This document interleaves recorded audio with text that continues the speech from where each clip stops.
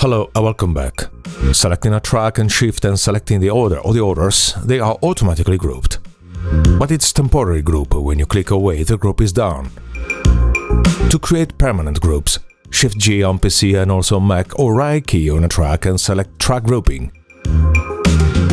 Selecting the track, the pop-up is automatically updated.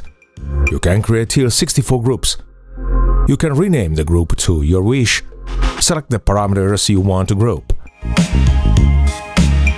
You can also select which track is the master by pressing on lead and the ones that are a slave by pressing follow.